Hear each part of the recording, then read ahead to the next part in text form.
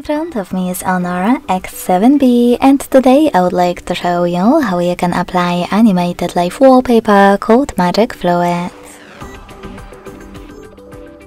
Begin by opening Play Store and getting free app called Magic Fluid Lite Fluid Sim from Mad Scientist developer.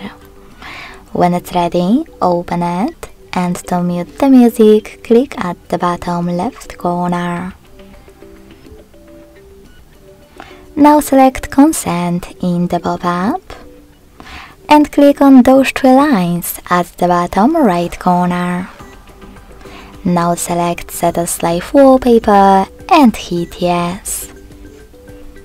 Finally, you can click on this gear at the bottom left corner and manage all of those options however you want to. You can even click on presets at the top left one click on one of those options and tap on yes to apply the perfect one. Wherever you decided when you finished, go back. Click on apply at the bottom and close Magic Fluids app. As you can see after that my wallpaper was successfully applied.